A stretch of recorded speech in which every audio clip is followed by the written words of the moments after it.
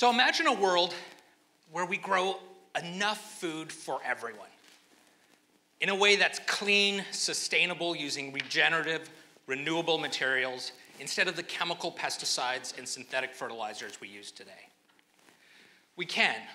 Terramera was founded on one big, bold idea to use technology for a purpose so that we can create a world with affordable, clean food for everyone.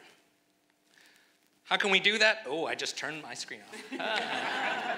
we can do that by not watching the screens. Um, we can do that. So, what we started with is trying to understand how, um, how plants and organisms and uh, trees evolved over tens of millions of years some of the most sophisticated methods of being able to protect themselves and thrive in some of the most difficult conditions.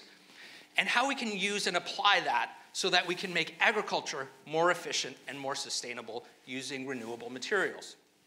Well, one of the problems with many of the natural materials that have been studied and are used in organic farming is the lack of efficiency and their, the lack of performance of many of these materials.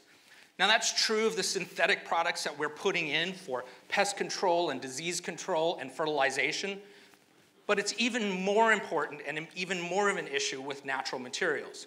In fact, between 50 and to 90% of everything that we put onto a farm doesn't get taken up to and used where it needs to be used. So we're putting on multiple times how much we need to use on a farm and most of it is washing away into the soil and into our water systems.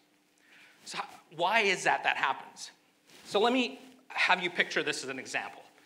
Imagine that you had a headache, and like a plant, you didn't have a mouth, so you had to stand in a shower of aspirin water to soak up enough aspirin to be able to get rid of that headache. Now, I know it's a ridiculous idea, but it, ima- imagine you, you were in that shower. How long would you have to stand until you soaked up enough to get rid of that headache? Eventually you would, but it would take a long time.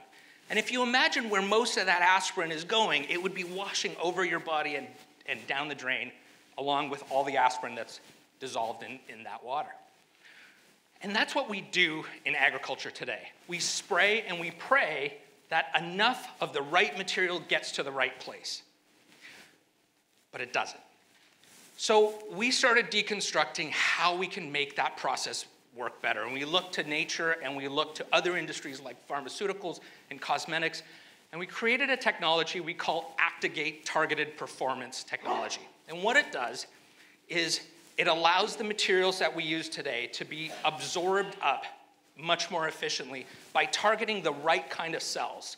So if we want to get materials more, inc increase their uptake into plants, we target plants. If we want to target a disease, we target the disease cells.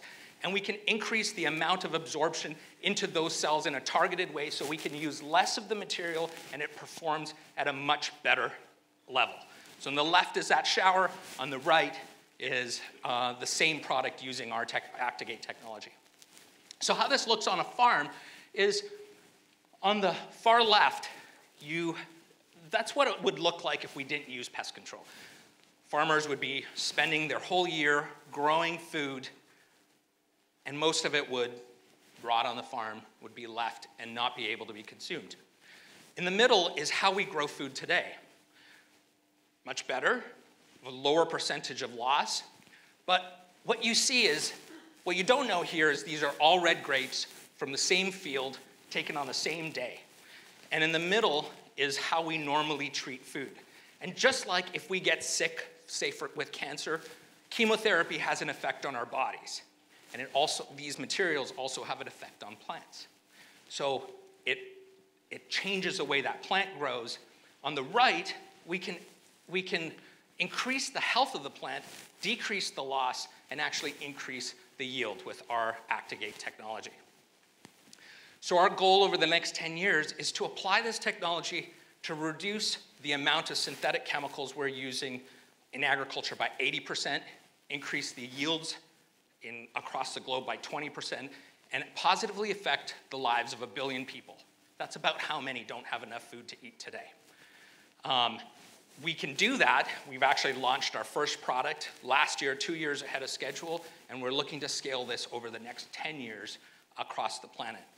Soon, we'll live in a time where organic food isn't the alternative, but actually the norm, where we can actually produce organic, clean organic food more cheaply, more efficiently than how we grow today.